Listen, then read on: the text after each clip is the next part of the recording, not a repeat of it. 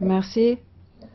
Catherine Trautmann a la parole. Monsieur le Président, chers collègues, nous nous dirigeons vers un accord sur le budget rectificatif 2012 et le budget 2013. Toutefois, le Parlement européen aurait souhaité voir un Conseil plus ambitieux, plus en phase avec les besoins des citoyens européens. Je voudrais insister sur ce point les dispositions du pacte pour la croissance et l'emploi ne doivent pas rester lettre morte. En outre, ce paquet augure déjà de la répétition du problème de crédit de paiement l'année prochaine. Il s'agit donc non pas d'une difficulté ponctuelle mais d'une question structurelle celle de l'annualité budgétaire de la garantie des crédits de paiement pour honorer les dépenses engagées.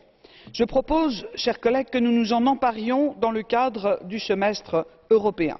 Et pour au moins deux raisons la prise en compte de l'impact du budget européen sur les investissements nationaux régionaux et locaux est absente de l'examen annuel de croissance qui ne fait que brosser une coordination des budgets nationaux pris séparément. et pourtant on voit bien l'intérêt qu'il y aurait à connecter les deux niveaux.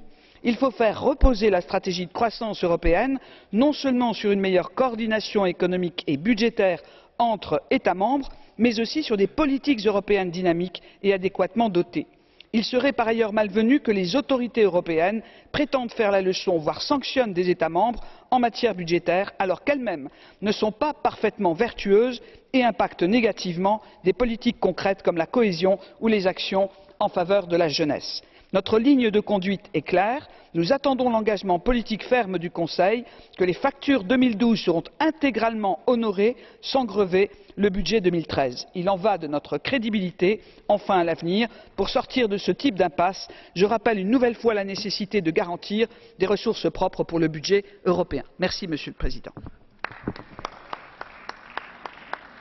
Köszönöm szépen. A következő felszólaló Godmanis úr, egy percben. Thank you, Chairman.